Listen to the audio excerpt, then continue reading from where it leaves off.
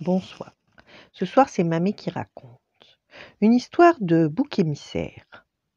C'est de la faute d'Amélie, s'écrie Bernard le canard, en montrant son livre gribouillé. La petite souris, Amélie, lève la tête, abasourdie. Elle ne comprend pas de quoi on l'accuse. Silencieuse et timide, cette élève semble presque transparente sauf lorsqu'il s'agit de trouver un bouc émissaire. On lui met toujours sur le dos toutes les bêtises des autres. J'en ai assez, pleure Émilie en cachette. Personne n'embête Loïc le coq, car il donne des coups de bec, ni Vincent le dindon, parce qu'il pince vigoureusement. Mais comment se défendre lorsqu'on est une pauvre petite souris? Découragée, elle pousse un grand soupir. Oh quand tout à coup surgit à ses côtés la bande de moineaux. Pourquoi pleures-tu? demande le chef Polo. Parce que je suis trop petite pour me défendre, lui répond Amélie. Je suis aussi petit. Moi, je suis même plus petit que toi.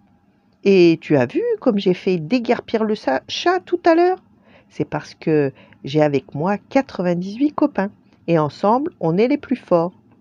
Mais moi, je suis toute seule, lui dit tristement la souris.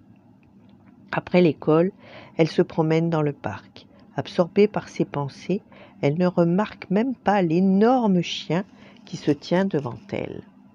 Oh, veuillez m'excuser, je vous ai pas vu, dit Amélie. Mais ce n'est pas une petite souris qui risque de m'écraser, dit le chien avec sa grosse voix. La souris devient toute rouge, prête à éclater en sanglots. Oh, dit le chien, je ne voulais pas t'effrayer. Je m'appelle Gaston. Enchantée, dit la souris. Moi, je suis Amélie. Tu vois, poursuit son nouvel ami, je fais tout le temps peur aux autres, alors qu'au fond, je suis très gentil. C'est sans doute parce que je suis le gardien du parc. Il faut que j'ai l'air autoritaire. Mais toi, pourquoi es-tu si triste? Rassurée, Amélie lui raconte tous ses soucis. Je comprends, dit Gaston. Mais tu ne dois pas être le bouc émissaire de ta classe. Pour commencer, raconte tout à la maîtresse. Et si tu as trop peur, je t'aiderai.